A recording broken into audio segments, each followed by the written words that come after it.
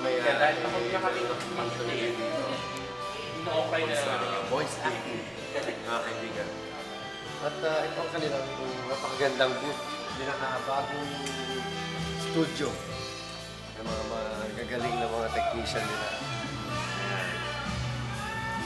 Mamaya.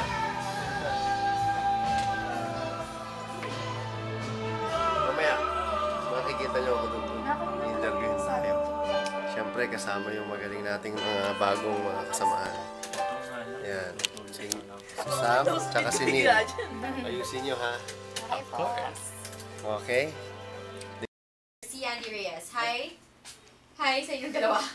At saka ito, may nagte-text sa ating uh, text hotline. Uh, Hi po, Miss Erica and Mr. June. Since November 8 ko pa po, inaabangan yung radio station nyo at talagang magaganda ang uh, mga palatuntunan ng Radyo 5, Nakaka-Addict, Radyo 5, o Radyo 5 Forever, JV ng Tagig. Maraming salamat, JV. Salamat, JV. Mm.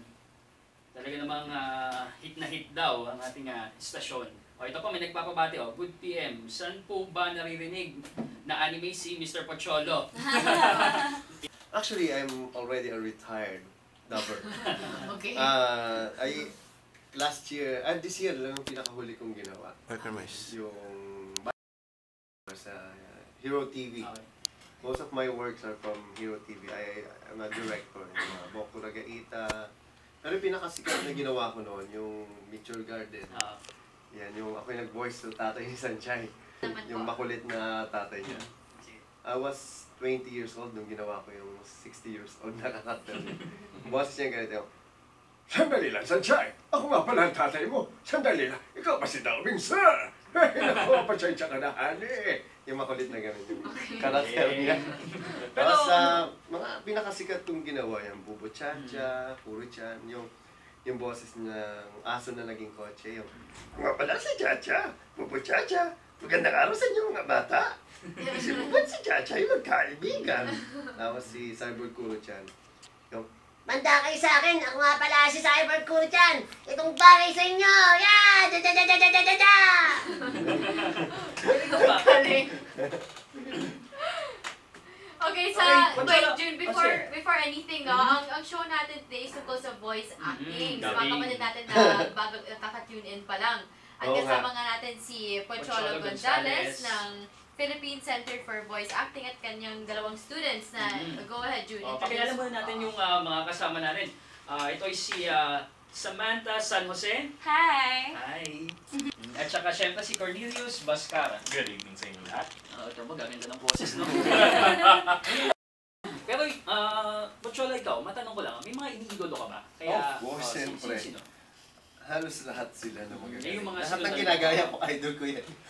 like sila, pinakauna ko talagang inidolo, si uh, Willie Nepomuceno.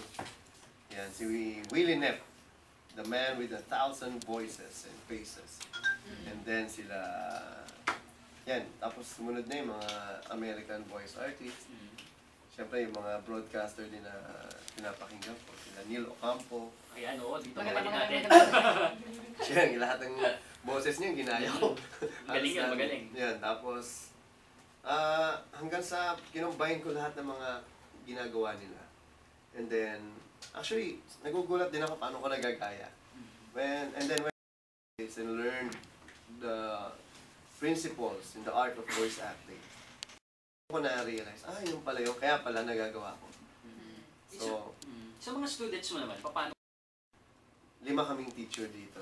Si Danny Mandia, Alex Agkawi, Neil Tolentino, si Brian Dixay at ako. So, maybe you can ask them. So, tanong natin si Samantha, no? Hello. Okay. Paano yung ano mo yung develop? So, when did you discover this? Okay, um, I was lucky enough to be a scholar of Mr. Pocholo Gonzalez. Mhm. Okay, so yung mga aspiring dubbers dyan, or voice actors, or voice talents, kung gusto nila, it's, it's okay. At saka, may mapupuntahan talaga kayo. Okay, uh, I started, actually kami dalawang partner ko, kami. Uh, mahilig kasi kami masyado sa anime. And then we went to a- an anime convention. Okay. Tapos nung pumunta kami sa anime convention, nagpa- nagpa-contest yung Creative Voices Productions. And luckily, kaming dalawa yung kinuha. Oo. Sa ang dami-daming sumali. Tapos, kasi naniniwala si Sir Posh dun sa kakayanan namin. Dalawa. So, dahil doon, ang dami na naming opportunities. Nag-voiceovers na kami sa SM Mega Mall. Yes. Tapos, na, nag-girl na rin kami ng ah, radio ads. Ganyan. Tapos, natuto kami mag-public speaking. Tapos, Oo. dati sobrang takot na takot kami sa stage. Oo. Ngayon, parang friend na namin siya. Go lang kami ng go. Yan. Tapos, um, dati, hindi kami makapagsalita ng diretsyo. Tapos, puro kami, uh, um, nanginginig kami lagi, ganyan. Okay. Ngayon, mas matino na kami magsalita.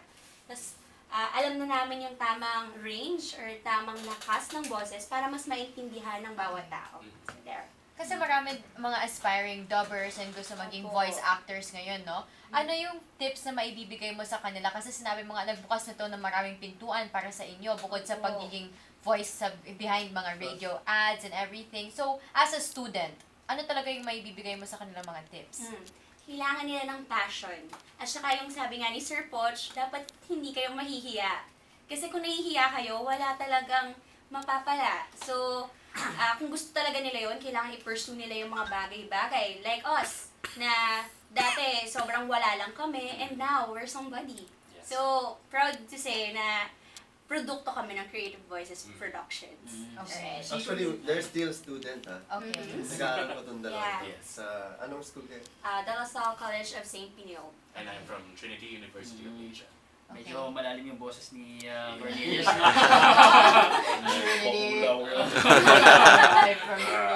Ikaw, ikaw naman na Cornelius, Okay. uh, gaano ka nakatagal dito sa industry mo?